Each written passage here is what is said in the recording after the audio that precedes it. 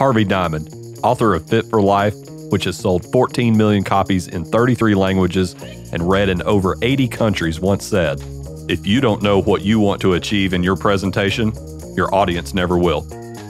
Welcome to the EagleWorks podcast. I'm Michael Akins, director of EagleWorks and your podcast host. Today's episode is all about presentations. We're looking at what makes a presentation effective, tips for maximizing presentation efficacy, and presentation organization. So let's get started.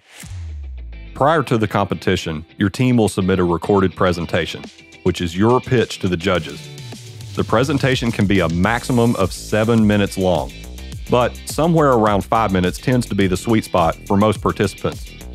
A short and to the point presentation is always more effective than a long, disorganized one. In creating your video presentation, we advise that you start out as you would with a normal, in person speech or presentation. That all begins with organization. So, tip one organize your information. Remember, the judges that you are pitching to most likely have not done the research or experienced the problem that your idea is attempting to solve. You'll want to lay the groundwork for them so that they have a foundation to understand your idea. Begin by compiling the information that you want to convey to the judges in an outline, or start with organization considering the who, what, when, where, why, and how, and take it from there. The best advice here is to get the information you wish to convey organized. Tell the story in a clear and concise way that will highlight the importance of your idea as well as the problem that your idea is attempting to solve. The first step in telling that story organizing your information. You don't want to be jumping around from point to point, but rather have a clear structure to your presentation that tells the judges a problem, a solution, why this solution is the best solution, and how you plan to implement that solution. Remember, you're telling a story just as much as you're pitching a product. That brings us to our next tip. Tip two start with the problem. Simply put, make your audience care. The goal of this step is to identify the problem. We've touched on this crucial step in the Business Model Canvas episode, so go back and listen if you haven't already.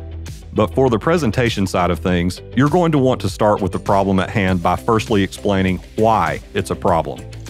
If the audience doesn't understand the problem or doesn't believe it is a problem, they have no reason to care about your solution. So, pointedly and clearly express the issue at hand first by explaining the problem first. You're presenting to the judges who have a choice to make. You'll want to inspire them to think, wow, this really is a problem that needs a solution. Which brings us to tip three sell your solution. You've just explained to the judges what the problem is and its effects. The next step is to provide them with the solution that you constructed to solve the problem. In this step, you're bringing the judge's attention to the solution that you and your team created and giving them plenty of well researched reasons to believe that this solution is the solution. Keep in mind that, like you and your team, the judges have also seen bad infomercials that claim their product can do anything. Avoid this type of over exaggerated car salesmanship. Simply explain the usefulness and application of your idea in a point by point fashion that lays all the need to know basics out for the judges. You don't need to go into all of the small details here. Again, you're painting a picture for your judges, you're telling a story and making them care about your idea. And finally, tip four why your idea works. Surely you and your team are not the first to seek a solution to this problem. Explain to the judges why your solution is the solution. Again, with well researched facts and data to back it up.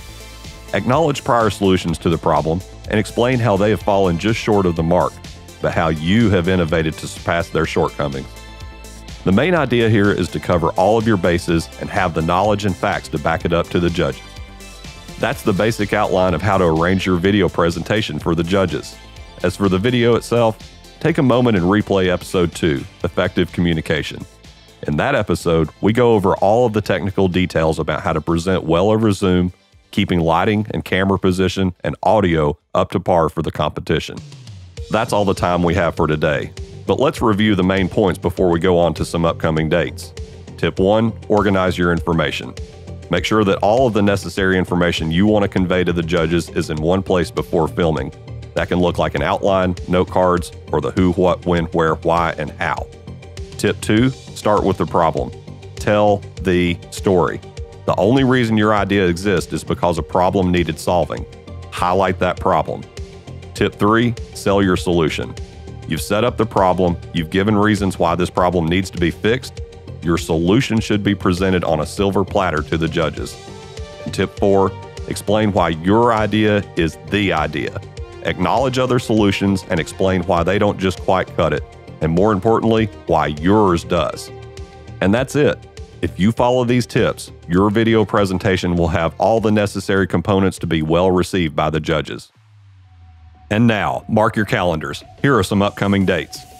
This Wednesday, March 10th, join us in person or online for the Effective Presentations Workshop.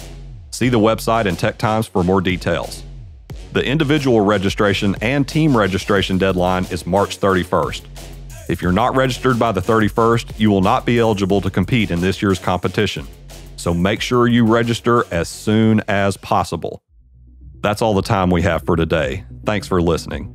To stay connected and up to date on all things EagleWorks, check back here every week leading up to the competition for new episodes of the podcast. And be sure to follow us on Instagram at TNTech EagleWorks. If you haven't already, please share this podcast with your friends and subscribe on Spotify, Apple, Google, YouTube, or wherever you get yours.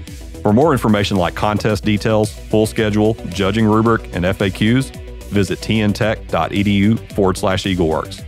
This podcast is hosted and produced by me, Michael Akins, and developed by Tennessee Tech students.